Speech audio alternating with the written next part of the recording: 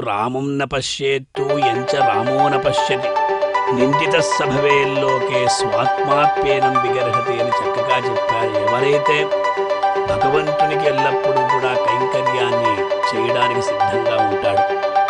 ఐదు పడగల శేషుడు అన్నప్పుడు విశిష్టాద్వైత సిద్ధాంతానుసారం ఐదవ సంఖ్యకి ఒక అత్యద్భుతమైనటువంటి నిర్వచనం ఉంది అది అర్థపంచక.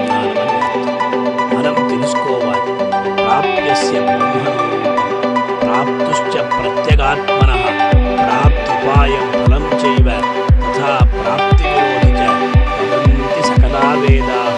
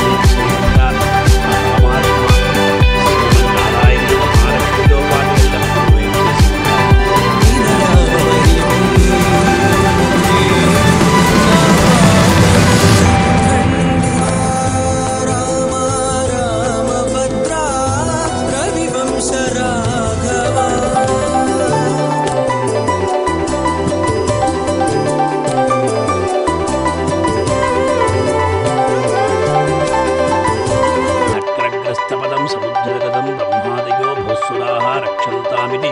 దీనవాక్యకరణం దేవేషు అశక్తేషు యः మాభైషీరితి తస్య నక్రహరణే చక్రాయుధ శ్రీనరోహి ఆర్తత్రాణ పరాయణస్స భగవాన్.